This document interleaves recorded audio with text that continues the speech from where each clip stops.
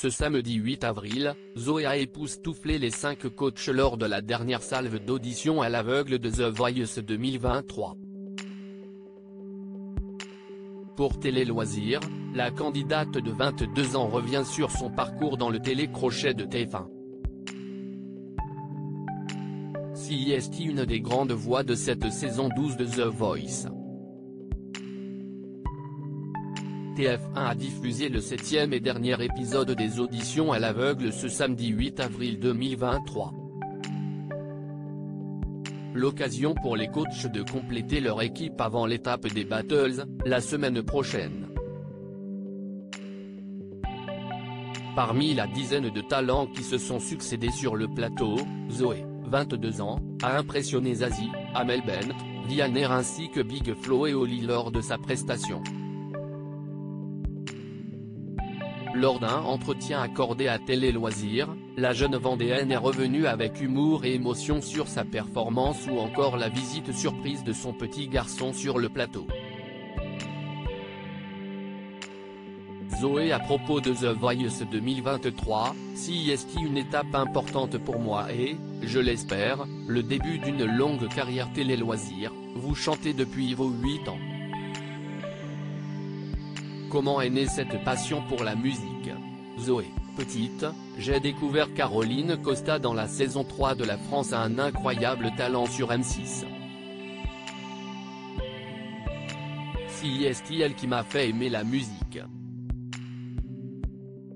Personne ne chante vraiment dans ma famille. Je pense être la seule. Pourquoi ne pas avoir tenté l'aventure The Voice Kids à l'époque? J'avais déjà passé les premiers castings à Nantes mais je manquais encore de maturité vocale et dans la tête. Je participais déjà à des petits concours mais ce n'était jamais devant plus de 200 personnes. Je n'étais donc pas encore prête à passer à la télé. Comment a débuté l'aventure The Voice pour vous? J'ai publié ma candidature sur MyTF1. FR sans grande conviction. Chaque année, ma mère et ma sœur, mes premières fans, elles rient, me disaient de m'inscrire. Comme j'avais déjà tenté les castings de la version enfant et que ça n'avait pas été concluant, je n'y croyais pas trop. Finalement, cette saison, je me suis dit que je n'avais rien à perdre. J'ai envoyé une vidéo faite le jour même dans mon salon et la production m'a contacté. Nous étions plus de 50 000 candidats à la base donc si est énorme pour moi d'arriver jusque là. Que représente l'émission à vos yeux? The Voice, si est-il l'aboutissement de toutes ces compétitions pendant lesquelles j'ai pu m'entraîner? Comme si j'avais emmagasiné de l'expérience uniquement pour faire l'émission. Si est une étape importante pour moi et, je l'espère, le début d'une longue carrière. Que faites-vous dans la vie, en dehors de la chanson? J'étais vendeuse dans une boutique de lingerie quand je me suis inscrite. À cette période, je me suis séparée du père de mon enfant. Je me suis donc retrouvée seule avec mon fils, Soren qui a 3 ans. Les horaires étaient très contraignants car je finissais tard. Sans aide, je ne pouvais pas m'occuper de lui. En accord avec ma patronne, j'ai quitté mon travail et aujourd'hui je suis mère au foyer. Je n'aille pas encore retrouver un nouvel emploi car je compte sur The Voice pour enfin vivre de ma passion. Zoé, Arslan est devenu mon meilleur ami depuis The Voice avec une trentaine de concours à votre actif, vous avez l'habitude de la scène. Celle de The Voice ne devait être qu'une formalité, non Non, pas du tout. Chaque scène a toujours été un stress pour moi et The Voice encore plus. Je manque de confiance en moi donc je ne me sentais pas forcément à ma place en arrivant au casting. grâce au concours, je savais comment appréhender la situation d'un point de vue technique, la façon dont il faut tenir son micro, le fait d'avoir un retour, l'aisance scénique. Ça peut paraître évident mais ce n'est vraiment pas le cas. Comment vous êtes-vous senti en arrivant sur le plateau? À partir du moment où je me suis retrouvé derrière le mur qui nous sépare de la scène, j'ai mis mon cerveau sur off et je me suis dit que si j'étais là, si est que j'ai fait ce qu'il fallait.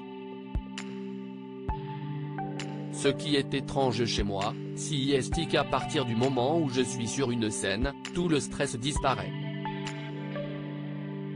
Et puis, je suis très à l'aise avec le titre que j'ai interprété, un peu plus haut, un peu plus loin de Ginette Reynaud, note de la rédaction, car je le chante depuis des années. Justement, que signifie cette chanson pour vous? Elle représente bien ma situation de mère célibataire. Même si je la chante depuis longtemps, les paroles ont eu un sens quand je me suis retrouvé seul avec mon fils. Si est ma grande sœur, mon âme sœur, ma manageuse non officielle, Rire, Méligna, qui me l'a conseillé. Ce titre me donne du courage et de la force. Ce titre m'a permis de montrer au coach mes capacités vocales. Zoé, si Vianney s'était retourné, je l'aurais choisi car j'aime sa sensibilité Comment se sont passées vos relations avec les autres talents? Je ne pensais pas qu'il y aurait une aussi belle cohésion entre nous. J'ai lié de très belles amitiés, surtout avec Misha Arslan, qui est devenu mon meilleur ami. On chantait dans les coulisses et on se soutenait car nous étions tous dans la même galère, si je puis dire. Elle rit, même si The Voice c'est une très belle aventure, si est violent de se dire que les coachs vont décider de notre destin artistique? L'émission est positive mais ça peut faire mal lorsqu'aucun fauteuil ne se retourne. Vianney voulait se retourner mais son fauteuil a été désactivé par la production car son équipe était pleine. Pas trop déçu au début, je me suis demandé pourquoi j'avais plus aux autres coachés par lui. J'étais persuadé que la chanson lui plairait et qu'il serait intéressé par ma voix. J'ai compris la situation après coup.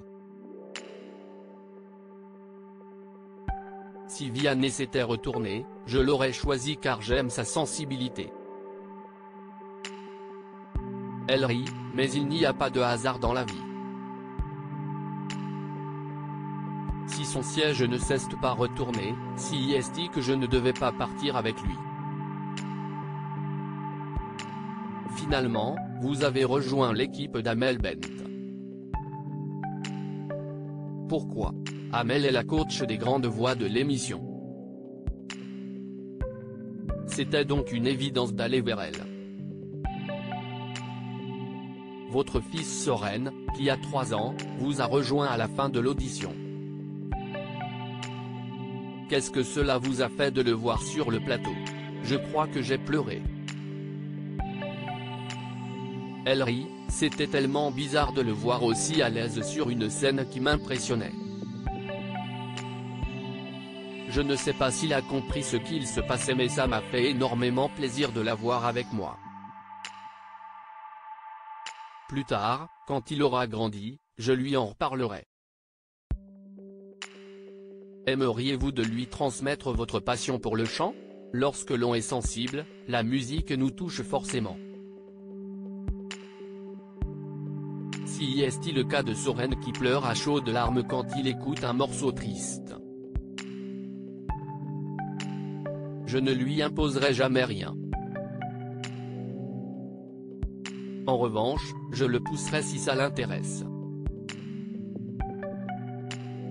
À lire aussi J'étais en train de perdre mon papa, Morgan, The Voice 2023, le frère de Mr. Matt, évoque le tournage de son audition.